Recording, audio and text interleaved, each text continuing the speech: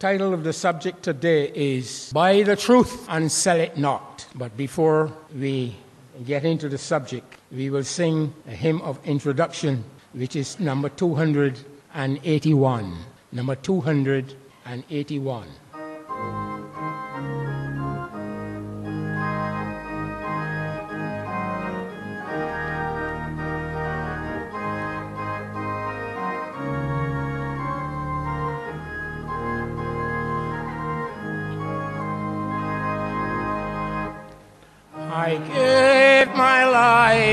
For thee, what have no little drawn. My guilt of this day, and reckoned from the dead. I gave, I gave my life for thee, what hast thou given for me? Oh, I gave, I gave my life for thee. What hast thou given for me? My father's house of light, I did a sickle throne. I give the earthly night, no thundering far and lone. I I left it all for thee. What hast thou given for me? I left, I left it all for thee. What hast thou given for me?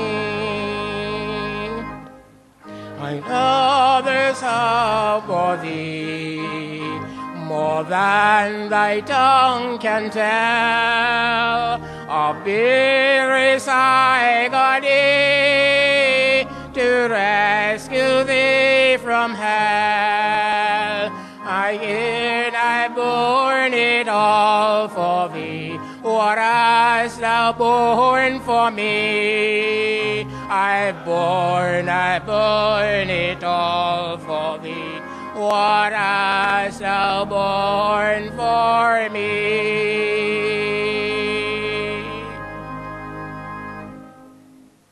That is a question that God is asking each and every one of us. And that's a question that we will have to answer. The title of the subject, as I said just now, Buy the Truth and Sell It Not.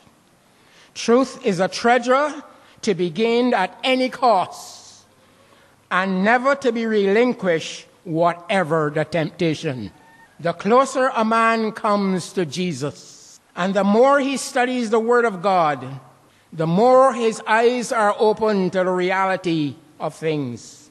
Few realize how dangerous are the little self deceptions.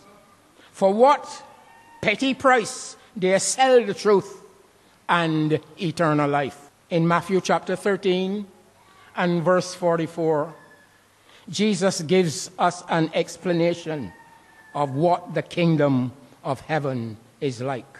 It was a practice for the people to hide their treasures in the earth because of robbers and thieves in those days. But often, after that hiding place was forgotten, when death steps in. And a man who hires the land to cultivate, and as the land is plowed, the treasure is discovered. He sees a fortune within his reach. He returns to his home and sell all that he has in order to purchase that field containing the treasure. This parable, brethren, illustrates the value of the heavenly treasure and the effort that should be made to secure it. The more the man who found the treasure in the field was ready to part with everything that he had in order to secure hidden riches. So the finder of heavenly treasure will count no sacrifice to dare in order to gain the treasures of truth. Those who desire to find treasures of truth must dig for it as the young men who were digging for the treasures, the hidden treasures of the earth. John chapter 5 and verse 39, Jesus says, Search the scriptures, for in them you think you have eternal life, and they are they which testify of me. Only if we, as a people, God's people, would search the Bible, we would be better off. But now, we listen to someone whispering in your ear, and we accept everything they say instead of listening to Jesus, who gave all for us. When you search the scriptures, you will hear Jesus saying, Seek ye first the kingdom of God and his righteousness. And all these things shall be added unto you. But nowadays we want all the things first and put Jesus after. But it don't work like that. Jesus says, seek you first and then I will give you the blessing that comes after. Matthew chapter 6 and verse 33. And in verse 19 he says, lay not up for yourselves treasures on this earth where moth and rough do corrupt, where men break through and steal but lay up for yourselves treasures in heaven where nobody can get at it. That's what Jesus is saying to you and to me. Where your treasure is, there your heart will be. If your treasure is in the kingdom of God, your heart will be up there.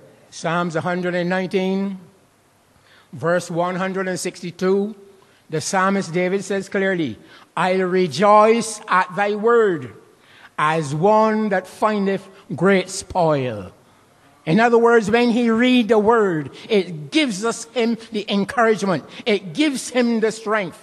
So as if he had a bundle of a, mil, a few millions. That's what he's saying. And in Psalms 119, 105, he says, Thy word is a lamp unto my feet and a light unto my path. That's the psalmist David. Brethren, read the word. Read the word daily, brethren. Apply it to yourself. Because when you read the word, God is speaking to you. Do not apply it to somebody else when you read the word. God tell you thou shalt not, it mean you. We have a tendency, it means she, it mean he. No, no, no, no, no. God is speaking to you. When you read it, it applies to you. Obey what God says.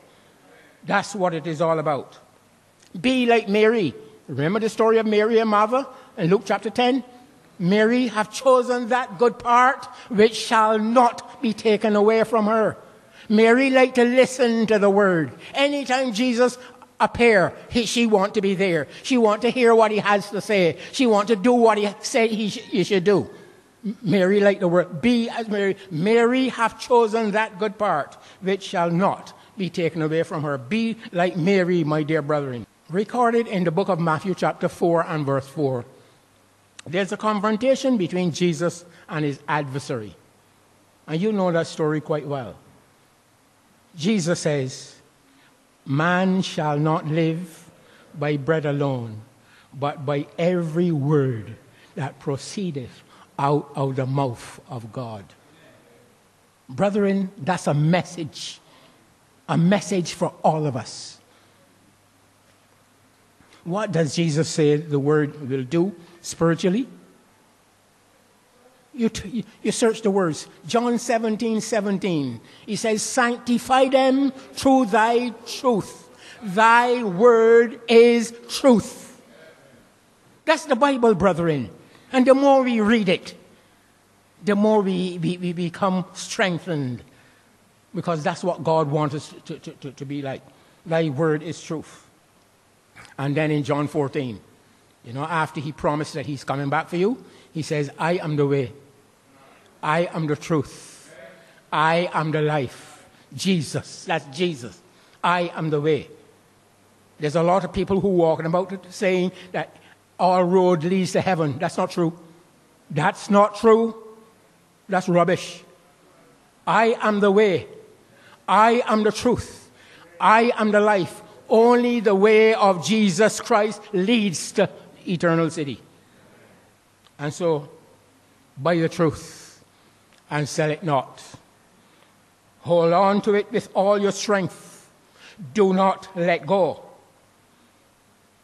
There are those in the world today who say that we are New Testament Christians. We only believe in the New Testament. Brethren, let me say this to you. Jesus, after his crucifixion, was walking on the road to Emmaus. And two guys there were discussing the crucifixion. And Jesus joined in the conversation. That is recorded in Luke chapter 24, verse 25 to 27. And he said to them, The disciples asked a question. Jesus said unto them, O fools of heart, and slow to believe all that the prophets did write. And the Bible says he began at Moses and bring all the, the, scenarios to them to help them to understand. You understand? He expounded to them all the scripture, and the things concerning himself.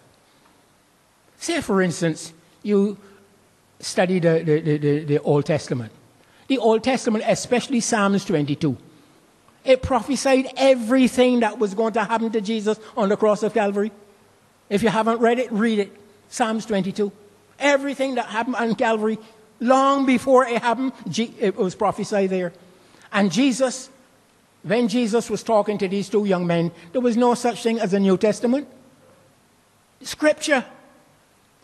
One thing we have got to understand when we read the Bible, especially 2 Timothy chapter 3 verse 16. It says, All scripture is given by inspiration of God, and it is profitable for doctrine, for reproof, for instruction in righteousness, that the man of God.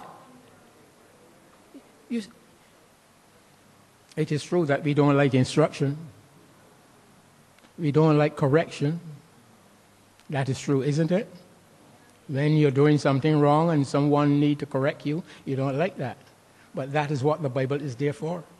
The Bible is there for all co- correction, instruction on righteousness. You see, that is what the Bible is there for.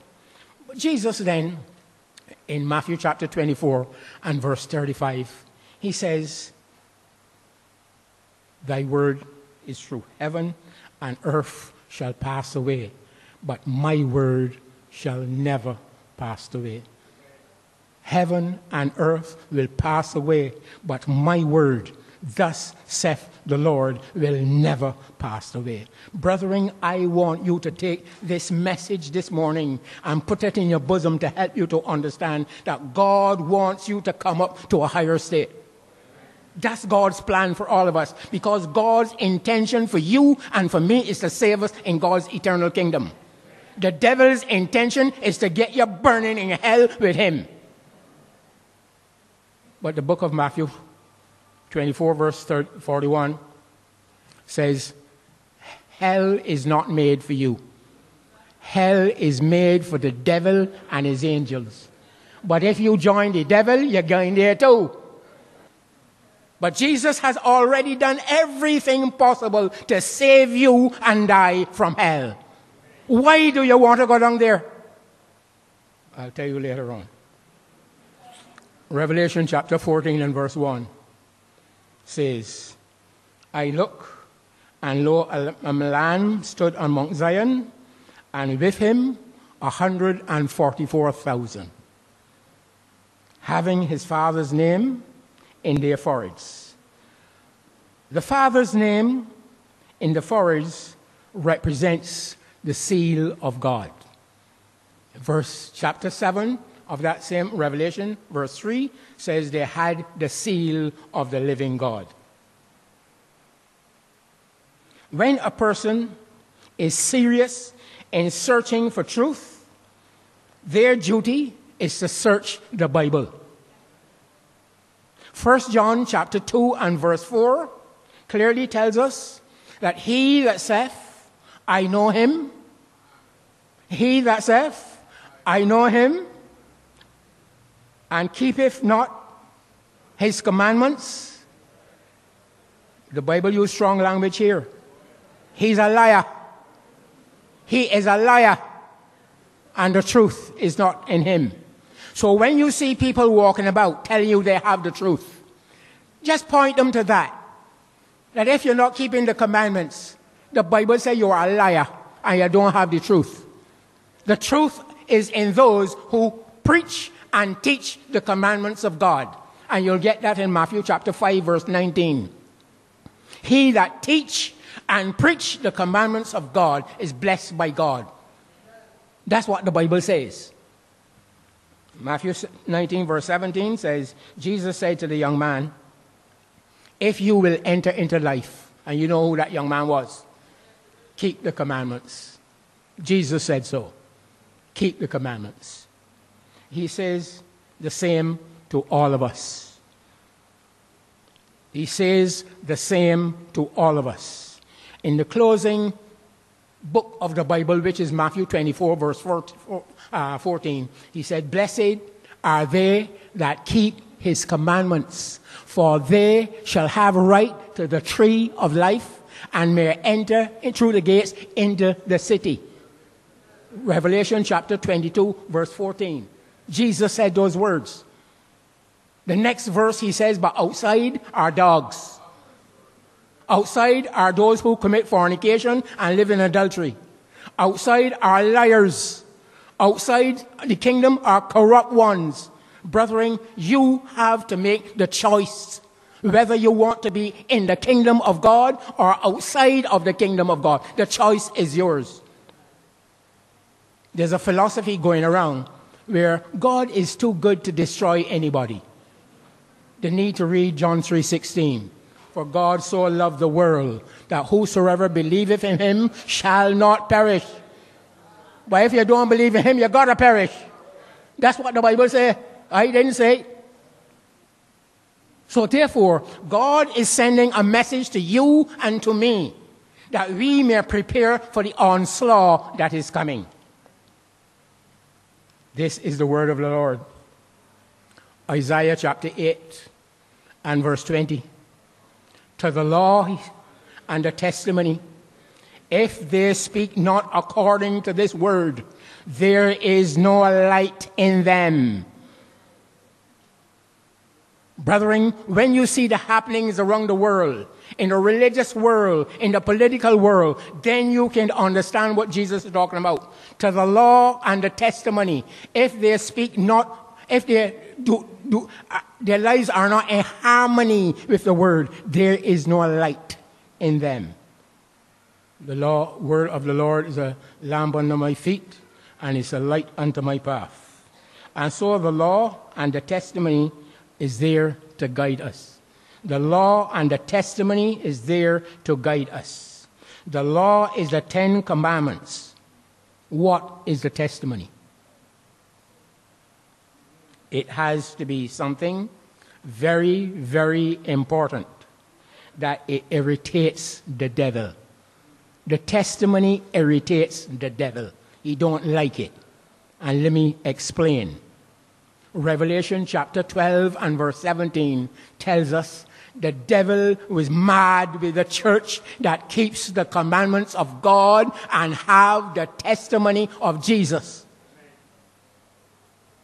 What it is he's saying to me is there's a church on earth that is obeying, that have the two characteristics, which is the commandments of God, keeping and teaching the commandments of God, and have the testimony of Jesus. And when you want to understand these things, you don't go very far. The same book of Revelation, chapter 19 and verse 10, explains to you what is the testimony. The testimony of God is the spirit of prophecy. The Bible says, worship Him that have the testimony of God, and the, the test, for the testimony of God is the spirit of prophecy. Now, in the book of 2 Peter, chapter 1, verse 21, the Bible tells us when the Bible was given, holy men of God spake as they were guided by the Holy Spirit. Now, you hear people tell you, man, write the Bible. When people say that to you, tell them you should go and write one too. Man, write the Bible. The Bible says clearly that man do the writing. Men who were willing to be obedient did the writing, but the Holy Spirit guided them what to write. You understand? That's what the Bible says. Holy men of God, not any and every man. They were guided. They were direct. They do the writing, but the Holy Spirit was guiding them and telling them. It's like a child and a school teacher. This teacher is telling the child what to write. You understand? The, the child doing the writing, but the teacher is guiding it. And therefore, the Holy Spirit okay, guided them. Now, Jesus says clearly, Jesus says clearly that when the Spirit of truth is come, you know, just before he was, he was about to leave, he says, when the Holy Spirit, when the truth is, the Spirit has come, he shall guide you into all truth. That's what Jesus says. The Holy Spirit will guide you into all truth. You know, who is the Holy Spirit? The third person of the Godhead the third person of the Godhead God the Father, God the Son, God the Holy Spirit. That's why in Matthew 28, he says, when you're baptized, you baptize them in the name of the Father, and in the name of the Son, and in the name of the Holy Spirit. That's Bible. So we follow God's holy word. Good. When the Spirit of truth is come, he will guide you into all truth. Now, I want to tell you that spirit of prophecy is advanced information that God is giving to his church. It has always been like that. God's intention is not to keep you ignorant. God's intention is to give you advanced information so that when things happen, you will already know and prepare for what is going to take place. Isn't that right? You ever hear this, the, the, the, saying that God sends a warning before he sends destruction? You ever hear that? God's intention is to save all of us, not to destroy us. But that Satan is, is willing that you should not listen. You should disobey. All right? I would like to, to, to, to read a, a little note here from this book, Last Day Events, page 178.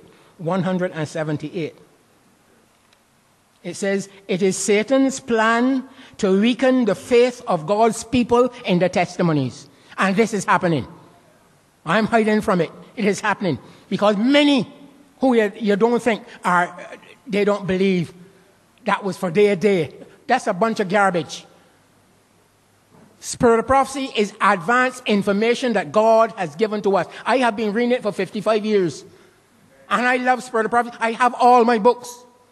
I read it. Because why? It is information that God wants me to prepare for what the devil is, is doing. Now, if you know a, a crook is coming tonight at, at, at one o'clock, what would you do? Not prepare? That's common sense, isn't it? But God knows what the devil is planning for you because the devil don't mean that you should get in heaven. His aim is that you're going to hell burning with him. And then when he get you down there, he laughing at you. That's the devil's plan for all of us. But God's plan is that we prepare for the future. That's why he says, prepare to meet your God. It says it is Satan's plan to weaken the faith of God's people into testimonies. Next follows skepticism in regard to the vital points of our faith, the pillars of our position, then doubt as to the Holy Scriptures, and then the downward march to perdition. When the testimonies which are once believed are doubted and given up, Satan knows the deceived ones will not stop at this, and he redoubles his effort till he launches them in open rebellion, which becomes incurable and ends in destruction. That's the devil's plan. He don't want you to believe what the servant of the Lord is saying. And let me go on a little further. So, as I said, it is advanced information. The devil does not want you to know what he's planning for your destruction. I advise you, brethren, study the word of God. Commit its precious promises to memory so that when we shall be deprived of our Bibles, when we shall, uh, we may still be in possession of the word of God. Do you know that you are supposed to read the Bible and store it? Because Jesus even said that when they take you to court later on, don't worry about what you shall say. Because the Holy Spirit at that time will bring back to your memory the things that you have studied and give you the answers. Jesus said that. And if you all, all you do is watch television and read newspapers, the, the Holy Spirit can't bring back anything. The time has come, brethren, for us to wake up. Romans chapter 13, verse 11 tells us clearly wake up. Time of sleeping is past. It's about time we prepare to meet our God. Study the Word of God. Commit its precious promises to memory so that when we shall be deprived of these things, thing. The book Patriarchs and Prophets, page 620, 626. Christians should be preparing for what is coming upon the earth as an overwhelming surprise. And this preparation they shall make by diligent studying the Word of God and striving to conform their lives to its precepts. by the truth and sell it not. That's the greatest decision that anyone can ever make. And I will explain that to you in a minute. Buy the truth and sell it not. Brethren, I urge you, read the word. I urge you, study the word. I urge you, believe the word. I urge you, obey the word.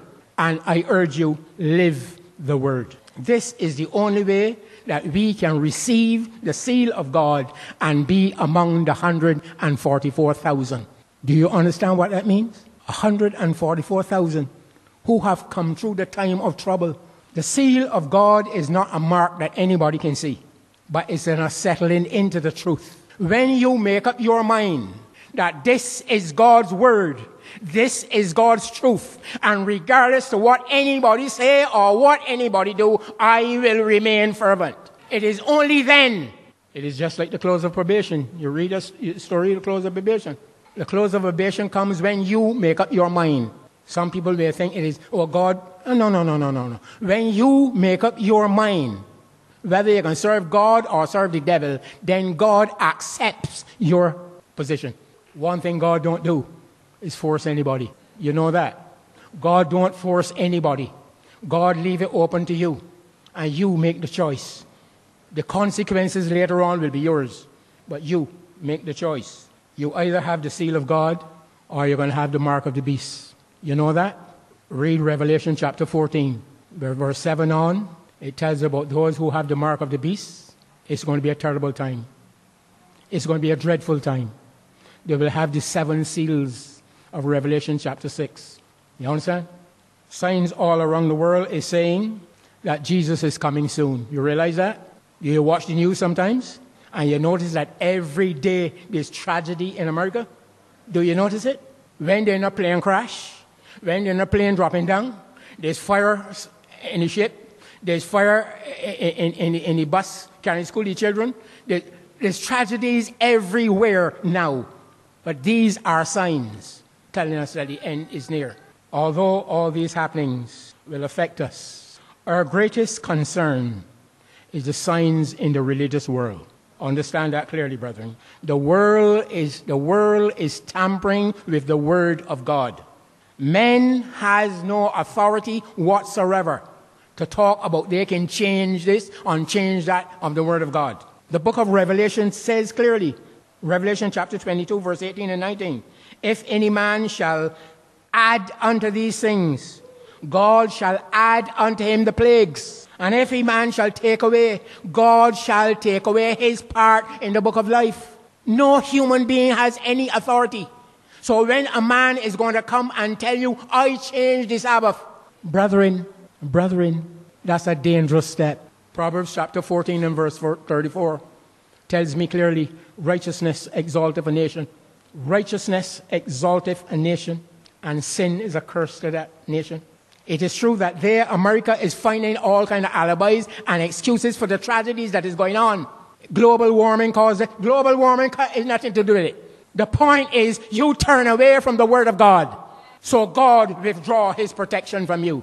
Revelation 14 tells us clearly that God commanded the angels to hold the winds of strife until I have sealed the servant of God in their foreheads. That's what the Bible says. But when you don't want God, when you tell God that we don't want this man to rule over us, what you expect? He's not going to stay there. He's going to withdraw himself. And then Satan glad for the opportunity. And this is what's happening to the world. And brethren, let me tell you, this is only the smoke that we are seeing. This is only the smoke that we are seeing. It's going to get worse and worse and worse. And I will tell you something later, with your permission. Let me read a couple of quotations from this book here Last Day Events, page 45. Listen carefully. Seventh day Adventists have been chosen by God as a peculiar people. Do you believe that? Well, let me tell you something. Seventh day Advent, the Seventh day Adventist church on this planet Earth is God's true church. I'm telling you that because I've studied it and I know it. There's no other church like the Seventh day Adventist church. There's no other church have the understanding and the knowledge and the information as the Seventh day Adventist church. None. That may sound strange to some of you, but the more you study it, the more you understand it. God said that the devil is mad with the church that keeps the commandments of God. Why is he not mad with the other churches? There's a reason. There's a reason. One thing God hates is the Sabbath. He hates it. That, Satan hates is the Sabbath. And he don't want you to be obedient. He want you to be disobedient. By the great clever, clever of truth, he has cut them out from the quarry of the world and brought them into connection with himself. God has made them his representatives and has called them to be ambassadors for him in the last work of salvation. The greatest wealth of truth ever entrusted to mortals, the most solemn and fearful warnings ever sent by God to man, has been committed to the Seventh day Adventist church in this world. You could want anything more than that? God is looking. Huh? Why did you think that uh, the, the Apostle Paul says, uh, Corinthians, 1 Corinthians chapter 2, verse 9, ye are a chosen generation. Ye are a royal priesthood. Why do you think so? Because God specially called us out of darkness into this glorious light. And God wants us to share this light with others. In a special sense, Seventh day Adventists have been set in the world as watchmen and light bearers. To them has been entrusted the last warning for a perishing world. On them is shining wonderful light from the Word of God. They have been given a work of the most solemn import, the proclamation of the first, second, and third angels' messages. There is no other work of so great importance. They are to allow nothing else to absorb their attention. Isn't that wonderful? God has called his people, you and I, that we should go out there and warn other people about the tragedies to come. Page 144 of this same book. It says, A great crisis awaits the people of God. Do you believe that? It is coming, brethren, whether you like it or not, it is coming. And you can't avoid it. Very soon, our nation will attempt to enforce upon all the observance of the first day of the week as a sacred day. That is coming. And let me tell you something, within a few months, that will begin to happen. It sounds strange to you, but it isn't strange to me very, very soon this is going to happen. Because in this same book, it tells you when the Republican government take over, in Testimonies chapter 4 and 4, uh, 5, 451, when the Republican government take over, this is what going to happen. You are going to be forced to obey the laws of the land instead of the laws of God. But I want you to understand, brethren, Always remember Daniel. Always remember Shadrach, Meshach, and Abednego. When they were asked to bow down, they said, We will not bow down. The God that we serve will deliver us. And even if He don't deliver us, we still will not bow down. Did God deliver them? But I tell you something. When my man came to the, when the king came to the, the door that morning, he said, Daniel, oh, wonderful man wonderful man. God, Daniel said, God have sent his angels to close the lion's mouth that they did not touch me. And you know what the Bible tells me? If you read that story, it tells me that after the king was so satisfied, After the king was so satisfied, what he did was call the accusers of Daniel and his wives and his their children and throw them in the lion's den. The Bible said so. And the lion massacred them. You see, it is not good to be a liar. You understand? What goes around comes around. Isn't that right? It is not good to be a liar. It is not good to envy. It is not good to have evil in your hearts against one another. The Bible says so. Let me press on. Good. Verse uh, 136. Verse 1, 148. I don't know if I have time to get to this. It says, hoarded wealth will soon be worthless. You understand what it means? Hoarded wealth will soon be worthless. When the decree shall go forth that none shall buy or sell, expect they have the mark of the beast, very much means will be of no avail. God calls for us now to do all in our power to send forth warning to the world. But let me tell you a secret. Hoarded wealth won't be no help later on. There's a lot of us who got money in the bank. And there's nothing wrong in that. There's nothing wrong in that. Because the truth is, we should have something put aside for a rainy day. God understands that. Good. But do you know the day is coming when it wouldn't be, you can't get it? Do you know the day is coming when it won't be yours? Do you know in Europe, there's a country right now, the bank gone bankrupt, or went, well, gone bankrupt. And the people can't get the money, whether by credit card or by what. And the government gave them permission to hold on upon the people's money. Do you know that? This is what is coming, brethren. Terrible things are ahead waiting for us. That is why the same book says a lot of us, when that begin to happen, when you can't buy nor sell, mm, that's Revelation 12. When you can't buy nor sell, we will leave the truth and turn back into the world. But no, we can't afford that.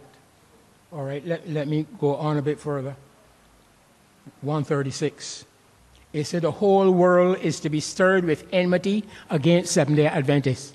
You accept that or you believe that, brethren? The whole world will be against you simply because you stand up for what is right. Do you know that even in the world today, when you stand up for what is right, nobody don't like you? This is the situation. The whole world will be stirred with enmity against Seventh-day Adventists because they will not yield homage to the papacy by honoring Sunday, the institution of the anti-Christian power. Those who trample upon God's law make human laws which they will force the people to accept. Men will devise and counsel and plan what they will do. The whole world keeps Sunday, they say. And why should not this little people, who are a few in number, do according to the laws of the land? You understand what is coming? This is what is coming. We will be a few among the crowds, and the whole world it is said that when, uh, when America sneezes, the whole world catch the cold. You understand? So when this starts in America in a few months' time, when this starts in America, the whole world will follow suit. And you will pay the penalty. But, as I said, I always say Christianity is not a life of convenience, it's a life of sacrifice. I gave my life for thee. What hast thou given for me? This is Jesus. And Jesus is saying that if you lose your life for my sake, you shall gain it. He said, Don't be worried about those who can kill the body, but worry about the ones who can kill both life and body in hell. That's what Jesus is saying. The same Jesus is able, who created you in the very beginning, is able to call you from the grave. So don't flatter yourself that you're going to get cremated and think that that's the end of it. That can't work. I think there's, there's one more quotation I have here for you. Just one more. And so, brethren, God wants to save all of us. Don't you believe that? That's why he said in John 14, I go to prepare a place for you. And if I go, I will come again and receive you unto myself, that where I am, there ye may be also. God wants you in heaven. Your place is up there. Do you take communion? And when you drink the cup, what did Jesus say? I will not drink of this cup with you until I do it in my Father's kingdom. Jesus is hoping and waiting for you to make your decision that you will in, God's eternal kingdom. Isaiah chapter 53 says he was wounded for our transgressions. He was bruised for our iniquities. How can we neglect, brethren, so great salvation? How can we do this? Sunday worship is coming and it will be forced upon you. You can either accept the seal of God or the mark of the beast. There's no middle ground in this channel. It is either God or the devil, one or the other. And God is pleading with you. It's not going to be easy, but by studying the Word, by obeying the Word, then God promised He will give you the strength to stand up for what is right. I gave my life for you. What hast thou given for me? In Great Controversy, page 655, no language can express the longing which the disobedient and disloyal feel for that which they have lost forever. What is that? Eternal life. Eternal life. And I used to hear my grandmother singing a song. Oh, what a weeping and wailing. You know that song? As the loss was told of their faith, they cried to the rocks and the mountains their prayer, but their prayer was too late. Oh, what a tragedy it will be. It's going to be the same thing as Jesus says, as, as it was in the days of Noah. Noah preached for 120 years. Nobody didn't want to hear him. Foolish old man. They stood up there and watched the birds flying into the ark. They stood up there and watched the animals walking two by two going in the ark. And mankind was so sensible. Mankind had so much common sense listening to the, the radio calling program, listening to the television. He had so much sense that he wouldn't make a move. But then a few days after, when the rain started to fall, then they come knocking. No, no, we now believe. The door that God shut, let no man open. And brethren, let me tell you something. When Jesus returns, when everything is closed with you, the Bible is saying it will be forever too late. Oh, what a weeping and wailing at the loss was told of their faith. You know, Jesus says that many will come to him saying, "My Lord, Lord, have I not done this? Have I not? Jesus says, I never knew you. Depart from me, ye that work iniquity. I don't know you. Lord, have mercy. What a horrible day. There's nothing you can exchange for eternal life. Brethren, eternal life is there for all of us. When you look up and see what you have lost because of stupidity, because of holding on to something in this world. Jesus says in Matthew 24, 21, verse 4, there shall be no more crying. The former things are passed away. There shall be no more death. Abraham says, I look forward for a city whose builder and maker in God, wherein dwelleth righteousness. This is what God is promising for you. When he says, I, I, I, I go to prepare a place for you, my, my dear friends, it's a wonderful place. And as the, the, the Corinthians says, eyes have not seen and ears have heard. And the servant of the Lord says, regardless of how good you think heaven is, it is better than that. You understand what I'm saying? So, my dear brethren, we have no excuse. We have no excuse. We have got to hold on. Hold on to the word of God. Don't listen to those who whisper in your ears. Don't listen to those around, around the, the, the, the ark. I mean, I see the birds going in and I see the animals walking in. Well, something got to be wrong. You understand? And mankind. So it proved then that the animals had more sense than human beings. What a tragedy. Let nothing separate you, the Apostle Paul says. Romans chapter 8, the closing verses. Let nothing separate you from the love of God which is in Christ Jesus. Brethren, this is the Bible. Regardless of what a man may say, what a man may do, the devil uses other people to pull you out what did Jesus say in, in, in uh, Matthew 13? When the servants ask him, Master, did we not plant good seed in the field? He says, Yes. He said, Master, but what, what wrong? Did these thorns come up? He says, An enemy have done that. Shall we go and pull them up? He said, No, leave them alone. Let them grow until the harvest. I will send the angels. The servant of the Lord interprets it. She says, God brings some in the church and the devil brings some. My dear brethren, I am here to tell you depend on the Word of God. If you depend on the Word of God, you can't go wrong. What did Jesus say in Matthew chapter 7, verse 21, and so forth? He says, He whosoever heareth these words of mine and doeth them, I will liken unto a wise man who built his house upon the rock. What is the rock? The word of God. Jesus wants you to build your Christian foundation on thus saith the Lord. And if it is built on that, the devil can't get at you.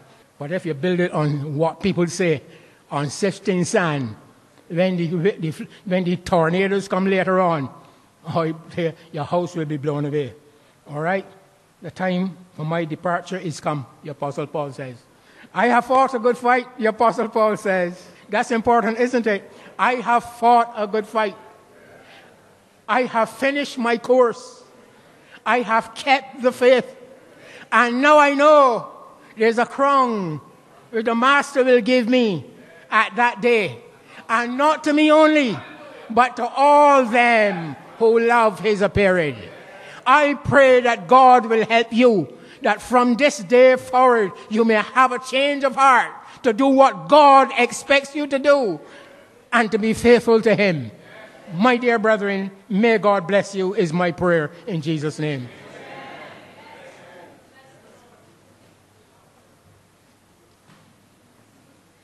Our hymn, our hymn of dedication will be 604.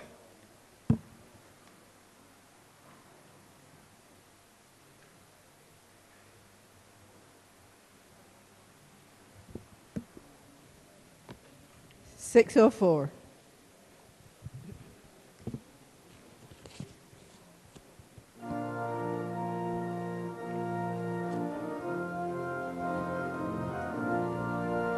Let's stand.